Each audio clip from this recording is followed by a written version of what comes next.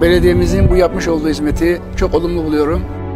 Evlerinden çıkamayanlara yardım ediyorlar, yemek getiriyorlar, hizmet veriyorlar. Çok güzel bir iş yapıyorlar. Allah cümlesine razı olsun.